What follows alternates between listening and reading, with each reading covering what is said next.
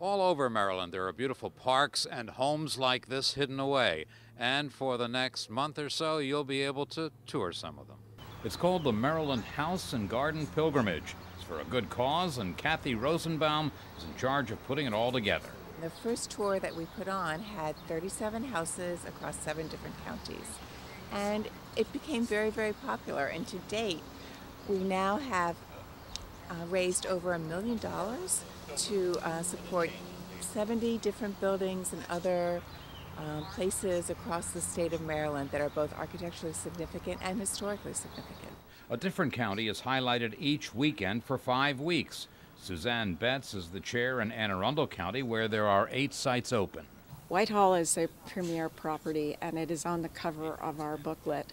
It's a circa 1760s home owned by Governor Horatio Sharpe. It is a gorgeous Georgian, Georgian home on the Chesapeake Bay. Describe your place for me. It's, it's beautiful. Thank you. This is a 1970s ranch home that's clad in cedar, and we have been doing serious renovations ever since we moved in. I think we're about done now, but the gardens, most of which were not here except for the beautiful azaleas that are on Cattail Creek and the perennial garden that's also down by the water's edge. I'm an artist, and so inside the home you will find a lot of artwork done by me. My daughter's a potter, and there's a lot of small fountains that are uh, on the property, and I love gardening, and so there's many plants. We've been here for 26 years. In Baltimore City, the tour is centered in the Bolton Hill area. The home of Travis Hardaway and Barbara Naylor will be one of 13 sites, all within walking distance of each other. It's a lot of work to open up the house to the public like this. Uh, why do you do it? We love the house. We love being able to show it. We also love the fact that people come and visit this neighborhood mm. because, as you mentioned, there are a lot of people who don't even realize that this neighborhood exists. Oh, it's one of the most beautiful preserved Victorian neighborhoods in the city. Yeah, it's, it's really quite intact. And um, interestingly enough, in the uh, mid 1900s, there was a lot of white flight out of the city into the suburbs. But this community decided that it wanted to really maintain its character, which is one reason why the park in front of our street exists. It was closed off in uh, 1951 52 mm. and made into a park, partly as a way of beautifying the neighborhood. And you'll find small pocket parks all over the neighborhood. The house dates back to the Civil War? Yes, well, antebellum. It's 1850s.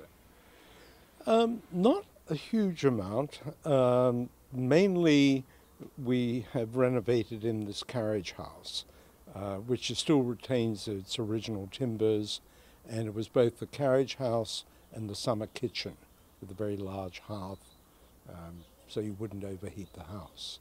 Howard County this year has seven sites on the tour, including a property once owned by Charles Carroll, a signer of the Declaration of Independence.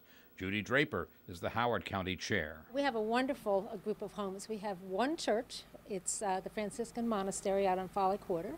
It's modeled after the uh, Franciscan Monastery in Assisi, Italy. We have six homes, all historic, one of which was a former decorator show house.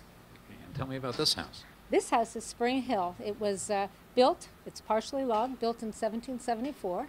It was a hunting lodge for Belmont, which is over near Route 1 uh, in Elkridge. This house has um, eight bathrooms, eight fireplaces, and eight bedrooms. And uh, part of the house is log, part of the house is brick, but it was built in an interesting manner where um, there is nothing between the exterior and the interior. It's just a thick brick wall plastered on the inside to make it more amenable. The oldest part dates back to 1774.